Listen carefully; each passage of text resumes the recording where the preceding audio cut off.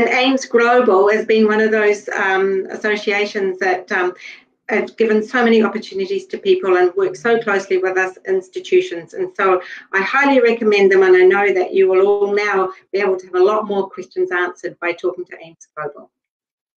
Thank you very much. Helen, now we're going to really, because that's exactly, and I just wanted to sort of address these questions. Now, I know that EIT offers the most unique courses in the health sector. Um, I know there's postgrad diplomas in health sciences, which are very, very unique, um, probably the one of its kind. There's Masters of Health Sciences that EIT offers.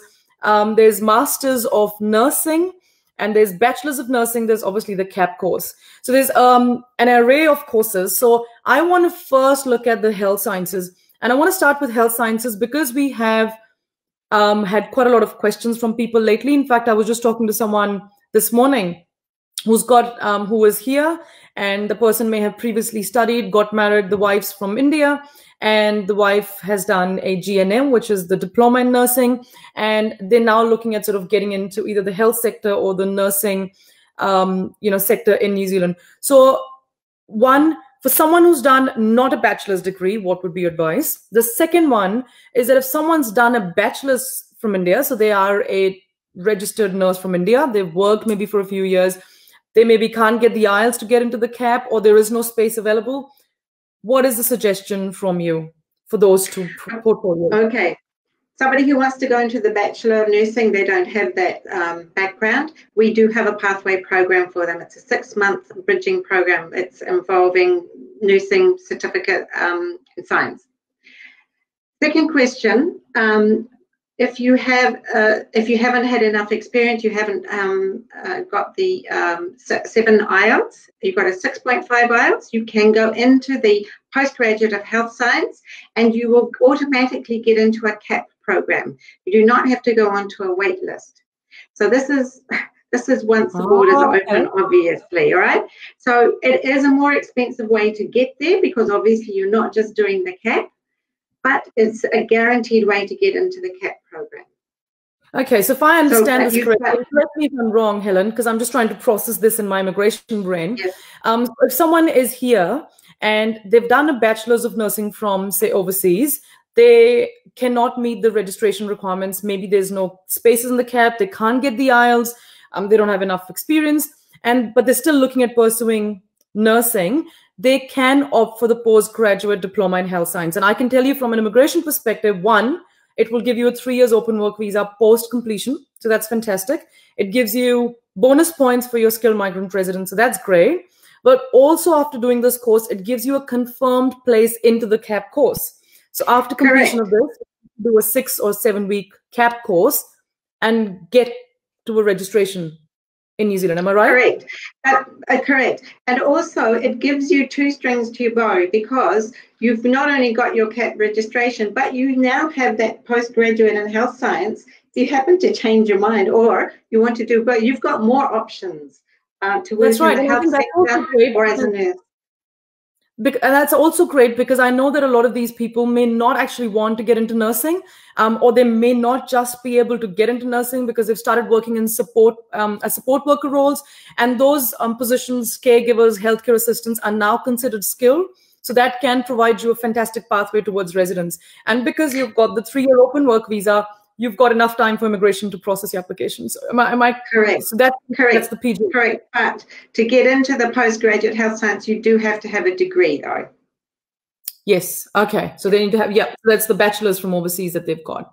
Yes. Um, yes. Talk to me about Helen. So if we've got someone who's got, um, say, for example, the diploma in nursing from overseas, and they want to study nursing here, is there an option for them to opt for the bachelor's of nursing and apply for cross credits?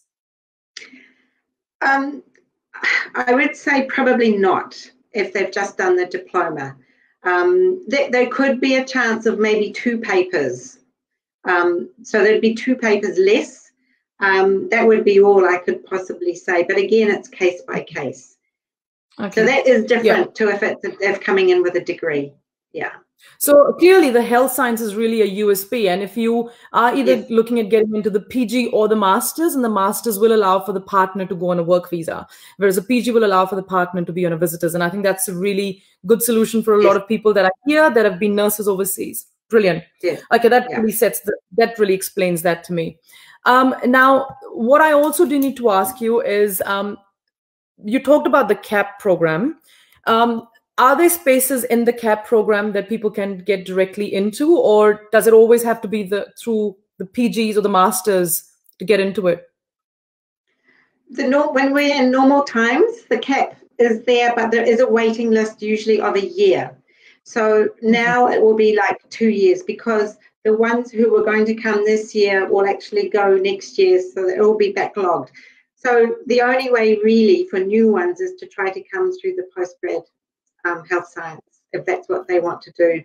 But of course, there are other institutions who run the CAP as well. So they need to look around to see what's going to be open for them. But it will be quite difficult, I think, after the COVID to get into yes, that. Yeah, sounds good. Um, in terms of intake, I do know that Helen, um, EIT offers more intakes than just July and Feb. Am I correct? That's we have eight intakes in a year. Eight intakes, so four in Auckland and four in um, Napier yeah, for health science, business, and IT. So would that be Feb, May, July?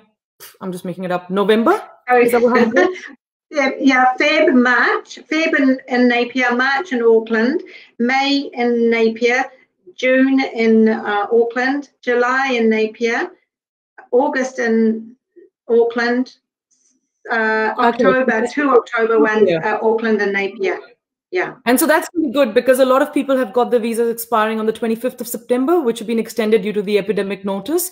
And so they've got that right. you know either the august intake if you want to be um, risk averse and apply sooner or you've got the october intake um, which can suit you. So those those are the two options for onshore people.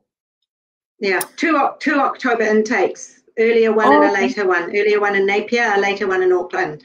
So um, it's obviously talking about so we've got this one which says health sciences programs and what kind of jobs are students getting. And Kritika, if you've missed it, we've just, just uh, run through some of the scenarios where people can opt for health sciences. So you could lead towards a pathway towards became, becoming a registered nurse if you've got a bachelor's degree overseas um, in nursing um, and you get a confirmed place in CAP, which is fantastic. Or you could even pursue getting into disabilities, um, services, support worker, healthcare assistant, personal worker, and those sort of roles. Um, have I missed anything, Helen? With the yeah, I think I think we're we're talking about management. You know, if you do the masters in health science, it's definitely a research-based, um, applied research in your area, and and the kind of jobs that if you're a lab technician, if you've done homeopathy, you've done dentistry, got a lot of dentists and doctors who come into this program. These are professionals who who could have been working in their field for 10 to 12 years um, they can come straight from a degree as well. So we've got that whole range. But, the outcomes are definitely much more into the management research um, area. Um, the health support, etc., is there, but it can go higher than that.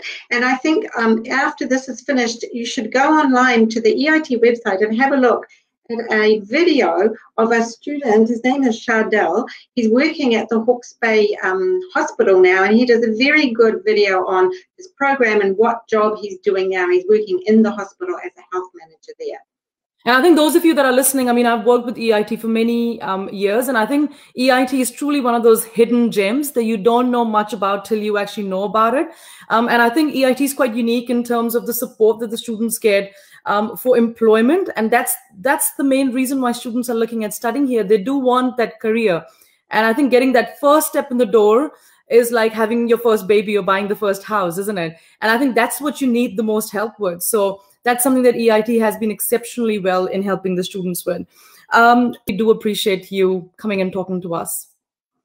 Oh, it's been a real pleasure, Anima. We've got such a long relationship, and um, we've been doing this for so many years, and it's just exciting to. It's hard time at the moment, but it's exciting to see that we're continuing to do this. There are people still interested, and we hope that they will still want to come and study and come and study at EIT and benefit all, all the options that are there. Absolutely. And I think I know for a fact that there's a lot of onshore people that are within New Zealand that are now being sensible with the course choices and their career choices and looking That's at aligning themselves with shortages. And